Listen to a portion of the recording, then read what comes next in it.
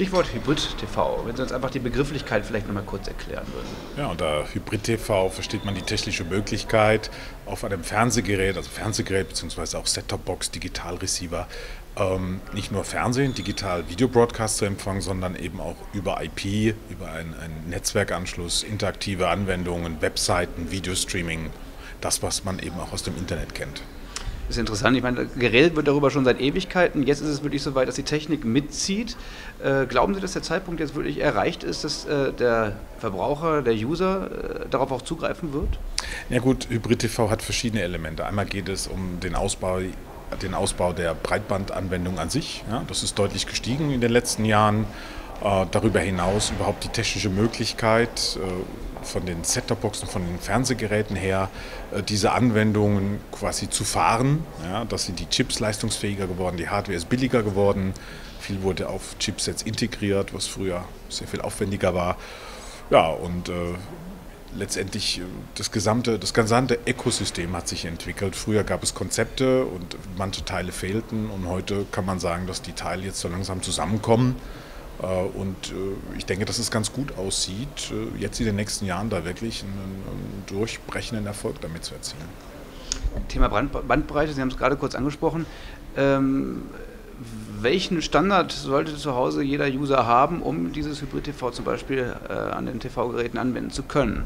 Ja, der User sollte erstmal davon überhaupt nichts mitbekommen. Es sollte einfach funktionieren. Das heißt, ein ganz normaler äh, Ethernet-Anschluss, also das, was Sie typischerweise am PC haben oder über Wireless LAN, äh, so ein Gerät, so eine Box hat das eben zukünftig. Äh, alle gängigen Geräte bieten jetzt solche Webschnittstellen an. Und letztendlich sollte es für den Kunden vollkommen transparent sein, welche Technologie dahinter läuft. Er sollte einfach die Anwendung finden, entweder über die Red-Button-Funktion, quasi programmbegleitend zu einem digitalen TV-Signal oder eben als App im sogenannten TV-App Store. Mhm. Prozentual, wenn die Leute jetzt die Wahl haben zwischen klassischem Fernsehen und Internet, IPTV jetzt hin und her zu switchen, Podcasts, Anwendungen und so weiter, gibt es da schon Statistiken? Da kann man da schon was zum Nutzerverhalten sagen, inwieweit die Leute das tatsächlich nutzen? Naja gut, es gibt äh, Studien, äh, die Befragungen äh, auswerten, die in so eine Richtung zielen, wo man sagt, würden Sie denn interaktive Anwendungen auf Ihrem Fernsehen nutzen? Würden Sie den Fernseher für das Internet nutzen? Und da sagen 30, 40 Prozent sagen, ja, das würden wir tun. Ähm, ich glaube aber, man muss vorsichtig sein mit der Begrifflichkeit, weil ich glaube, es geht nicht darum, Internet auf den Fernseher zu bringen, ja, sondern es geht darum, mittels Internettechnologie neue Applikationen rund um das Thema TV zu ermöglichen. Und das ist nochmal ein ganz anderer Ansatz, als Webseiten auf den Fernseher zu bringen. Okay. Letzte Frage vielleicht noch an Sie zur AMD 2011. Was ist für Sie so der ganz zentrale Aspekt, den Sie hier, den Sie hier behandelt wissen wollen? Naja, in der Tat, äh, dass sich jetzt die Inhalteanbieter mal Gedanken machen, was sie eigentlich mit diesen Apps im mobilen und im Hybrid-TV-Bereich eigentlich vorhaben.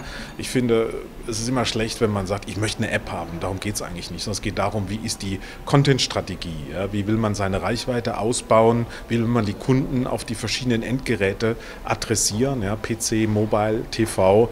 Äh, und wie will man da dauerhaft seinen Platz finden in diesem doch heiß umkämpften Markt? Auch internationale Konkurrenz ist ja da sehr sehr, dominant. Und ich glaube, dass die, die Unternehmen sich erstmal Gedanken machen, wo wollen sie hin, bevor sie sich auf eine technische Lösung einlassen. Und dann sollte die Lösung so offen sein, dass sie eben auch für zukünftige Entwicklungen skaliert, dass sie belastbar ist, dass sie offen ist für, für die Standardisierung, die jetzt eigentlich gerade beginnt in dem Bereich.